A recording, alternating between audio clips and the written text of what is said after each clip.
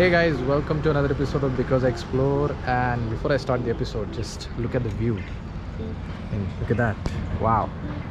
And we started the today's episode. It's been quite a few while. I'm going to try the new melts from Pizza Hut, which I have over here on top of my bike. That's the package. Looks really good, and what you get with it is what is it? Italian seasoning see that. And chili flakes so yeah let's start it off. Let's try that. Okay so settle down. Nice and easy. This is what the package looks like. Nice. Let's open it up. Let's see. And you get two loaded crispy melts. This is veg barbecue crispy melt. So yeah.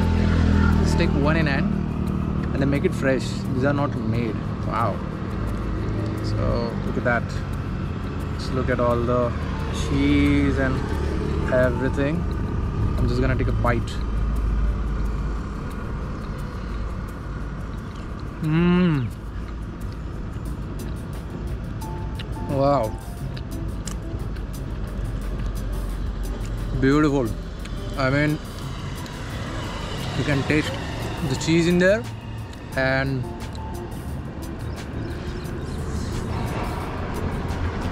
mm.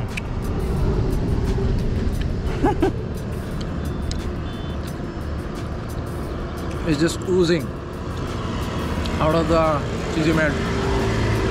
There's capsicum uh, there's mushroom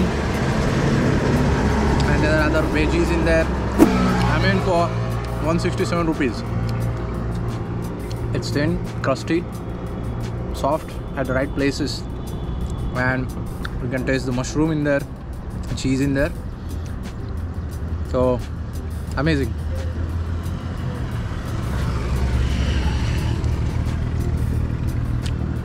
Wow. Beautiful and nicely done. One thing that i do like is that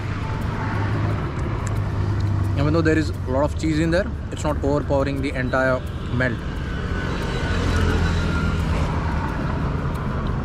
Wow. Amazing. So for 167 rupees what do you get?